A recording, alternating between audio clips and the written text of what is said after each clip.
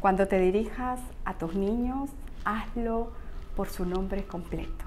No uses diminutivos o sobrenombres.